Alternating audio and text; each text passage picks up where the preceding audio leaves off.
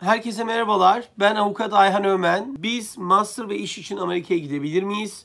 Böyle bir imkan var mı? Green Card almak istiyoruz.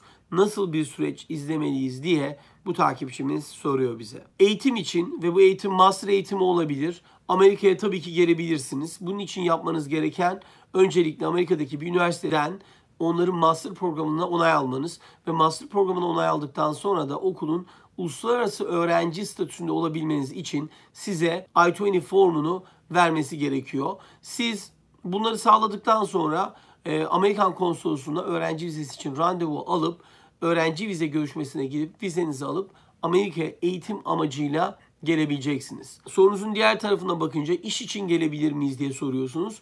Burada iş için gelebilmeniz için Amerika'da size çalışma izni için başvuru yapacak bir firmanın sponsor olması gerekiyor. Dolayısıyla siz bu firma sponsorluğunuzu sağladığınız sürece Amerika'ya gelmenizde bir engel yok. Dolayısıyla Amerika'ya gelip eğer iş yeri sponsorluğu olursa ve iş yeri sponsorluğu üzerinden alacağınız çalışma vizesiyle Amerika'ya gelip çalışmanız mümkün olacaktır. Dolayısıyla sponsor firmayı bulmanız gerekiyor. Ve son sorduğunuz sorunuz Green Card almak istiyoruz. Nasıl bir süreç izlemeliyiz noktasında ise Green Card'lar için değişik şekilde adım atılabilir. Belki sizin sorduğunuz eğer bu sene Ekim ayındaki Green Card çekiliş başvurularıysa bu başvuruları online State Department'ın web sitesi üzerinden yapmanızda herhangi bir engel yok. Dolayısıyla web sitesi üzerinden bu başvuruları yapabilirsiniz.